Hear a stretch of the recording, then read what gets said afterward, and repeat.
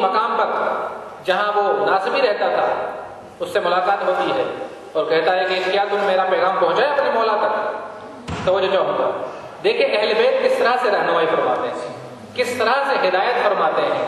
एक कतरा इमाम हुसैन के गम में अगर बहन बहता है और वाकई अगर खलूस से बहता है तो वह इंसान की रहनुमाई करता है। वो कतरा इमाम हुसैन का गम का कतरा इंसान को हिदायत करता है। कहता है कि तुमने पैगाम पहुँचाया? कहता है कि हाँ मैंने पैगाम पहुँचाया। क्या हुआ? तेरे मौला ने क्या कहा?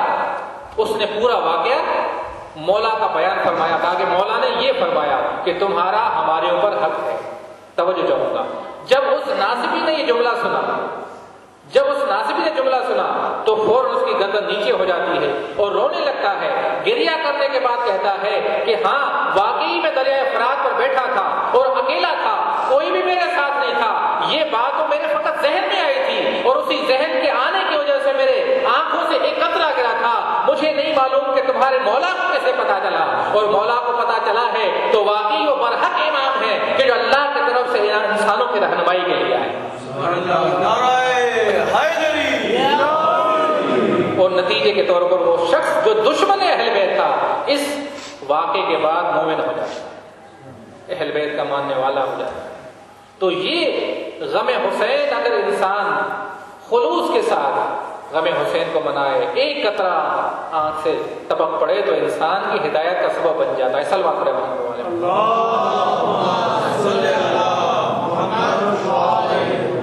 तो इस आज़ादारी की कदर करनी चाहिए। इस अयाम गम की कदर करनी चाहिए। और जहाँ जहाँ पर भी मोमिनीन रहते हैं, उनकी ये ज़िम्मेदारी है कि इस गम हुसैन को फैलाएँ। और जहाँ पर भी हो इमाम हुसैन के सफ़ अज़ा को बिछाते रहे, एक मरतबा इमाम जाफ़र सादिक सलाम अपने साहबी के साथ।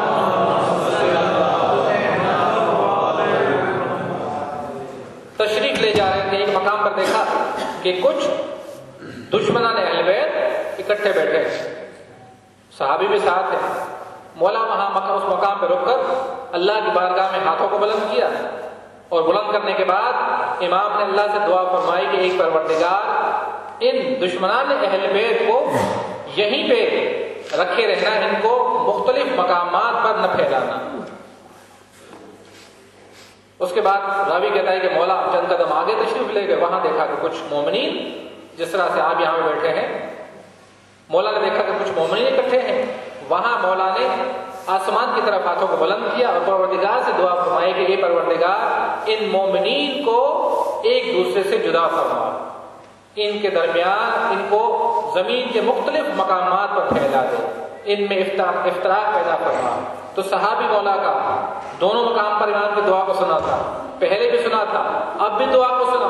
उसके बाद अर्ज़ करता है कि, मौला, मुझे ताजुब है। आपने दुश्मनान अहलबैत के लिए तो ये दुआ फरमाई कि परवरदिगार, इनको जुदा ना फरमाना, इनको यहीं पे रखना।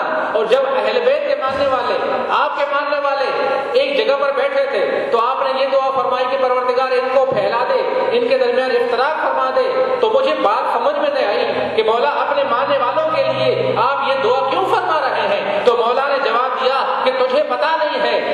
मेरे अहल बैत के लिए। इसलिए दुआ की कि परवरदिगार इनको एक ही जगह पे रखना। इसलिए मैंने दुआ की कि अगर ये मुख्तलिफ़ जमीनों के खितों में चले जाएँगे तो हमारी दुश्मनी की गलाजत को फैलाते जाएँगे। लेकिन मैंने अहलबैत के मानने वालों के लिए इसलिए दुआ की कि परवरदिगार इनको ज़मीन के मुख्तलिफ़ खितों में फैला दे इनमें इफ्तराक डाल दे ताकि ये एक दूसरे से जुदा हो जाए इसलिए कि जब ये जिस खिते में भी जाएँगे जिस मकाम पर भी जाएँगे वहाँ हमारे मोहब्बत की खुशबू को फैला देंगे लिहाजा मैंने उनके लिए दुआ फरमाई कि तुम इस ज़मीन के हितों फैल और यही मौजूदा है इमाम हुसैन सलाम के गम का और इमाम के दुआ का, कि जिस मकाम पर भी शिया होता है, चाहे पाँच शिया हो, दस शिया हो, थोड़ी मिकदार में हो, ज़्यादा मिकदार में हो, जब अय्या में गम आता है, आता आते हैं, और जब भी आयमा का ज़िक्र आता है तो इकट्ठे होकर बैठ जाते हैं, और इमाम के ज़िक्र को ताज़ा करते हैं, और इमाम के ज़िक्र को फैलाते हैं। सलवात पैदा करने वाले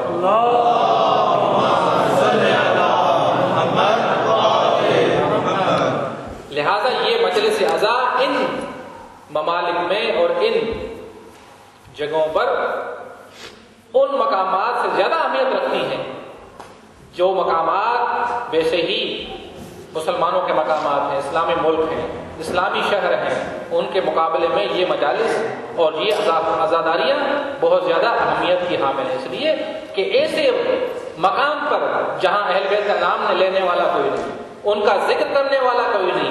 वहाँ पर अगर एक मोमिन इमाम का ज़िक्र करता है तो उसकी अजमत और शान बहुत ज़्यादा बढ़ जाती है। लिहाजा इस, इन मजालिस की कदर करनी चाहिए। इन मजालस में शरीक होना चाहिए। इन मजालस से दुनियावी और उखरवी हाजतों को इंसान ले सकता है। और ये आज़ादारी के मजालस बेहतरीन ज़रिया है कि इंसान अपने दिल का ताल्लुक अहल से बरकरार इंसान के दिल के अंदर जो मोहब्बत है, उस मोहब्बत का इजहार बेहतरीन तरीके से इंसान इन मजालस के ज़रिए से कर सकता है। इंसान के दिल में मोहब्बत होती है, मुख्तलिफ़ चीज़ों के लिए मोहब्बत होती है, और वो मोहब्बत इंसान ज़ाहिर भी करता है, कभी किस शक्ल में ज़ाहिर करता है। अगर अपनी औलाद से मोहब्बत है तो उनके लिए बेहतरीन मकान फराम करता है, बेहतरीन कपड़े फराम करता है, अच्छी एजुकेशन के लिए इंतज़ाम करता है, ये उसकी मोहब्बत का इजहार है। और जब अगर किसी दोस्त से अपनी मोहब्बत का इजहार करता है तो उसको गिफ्ट देता है उसको हदिया देता है ताकि अपनी मोहब्बत का इजहार कर सके। लेकिन जब हम अहलबैत की मोहब्बत का इजहार करते हैं तो उनकी मजालस पर तशरीफ़ लाते हैं। उनकी मजालसों को आबाद करते हैं और इसके ज़रिए से अपने मोहब्बत के ताल्लुक को अहलबैत के साथ दोबारा ज़्यादा मज़बूत करते हैं। लिहाजा इन मजालस की अजमत और इनकी शान को समझना चाहिए और उसी मारफत के साथ इन मजालस में शरीक होना चाहिए कि यही मजालस हैं कि जो हमारी मोहब्बत को जला देती हैं। असल बात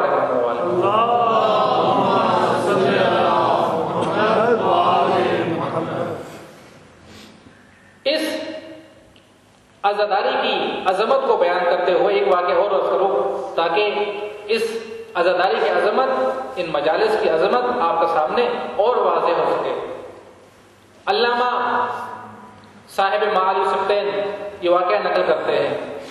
उन्होंने ना वाक़ नकल किया मरहूम दुर्बंदी से उनकी किताब मशहूर मारूफ, इसरार शहादत, उनसे वाक़ नकल किया है। कहते हैं कि एक मरतबा हम बैठे थे और हमारे साथ कुछ सुन्नी उलमा भी बैठे थे। उनमें से एक शख्स था, नासिबी था, दुश्मन अहल था, वो बैठा था। अचानक हमारे सामने एक शख्स गुजरा, कि जो था ईरानी। देहात का रहने वाला था, देखने में अनपढ़ लगता था। बिल्कुल, देहात का रहने वाला अनपढ़ इंसान, सादे कपड़े, फकीराना अंदाज हमारे सामने गुजरा। वो जो दुश्मन अहलबेद सुन्नी आलिम था, उसने उस ईरानी से खिताब करते हुए कहा कहा कि तुम्हें क्या हो जाता है माह मुहर्रम में? कि तुम अपना सीना फूटते हो, आँसू बहाते हो, काले कपड़े पहनते हो गिरिया करते हो, तुम्हें क्या हो जाता है? क्यों करते हो तुम इस तरह से? इस तरह से अपने आप को, अपने आप को क्यों मारते हो? तो उस शख्स ने पलट के जवाब दिया, कहा, सलवार पढ़े मोहम्मद वाले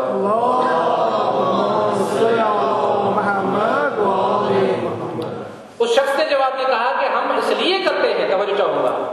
हम ये इसलिए करते हैं कि अगर हम ये आजादारी न करें तवज्जो चाहूँगा अगर हम ये आजादारी न करें अगर ये हम इमाम हुसैन का गम न मनाएँ तो तुम पलट के हमें ये कहोगे कि न इमाम हुसैन कत्ल हुआ था न इमाम हुसैन के बच्चों को असीर बनाया गया था। उसने कहा कि तुम ये किस तरह से समझते हो कि हम तुम्हें ये कहेंगे अगर तुमने आजादारी छोड़ दी?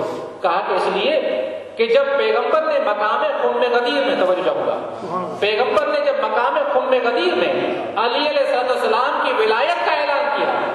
अली की विलायत का ऐलान करने के बाद पैगंबर ने उस दिन को ईद का दिन करार दिया। तवज्जो चाहूँगा उस दिन को पैगंबर ने ईद का दिन करार दिया, बल्कि उस दिन को तमाम अंबिया ने ईद का दिन करार दे दिया।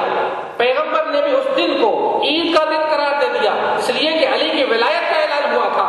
हम शीयों ने पैगंबर के उस ऐलान और पैगंबर के उस ताकीद को फरामोश ईद को हमने अंजाम न दिया, उस गदीर की ईद को उस तरह से ईद न समझा, जिस तरह से पैगंबर समझाना चाह रहे थे। अगर हम गदीर के ऐलान के बाद, मकाम गदीर के ऐलान के बाद हम उस दिन को ईद करार देते तो आज तुम ईद गदीर के हवाले से जो आयतें नाजिल हुई थी, जो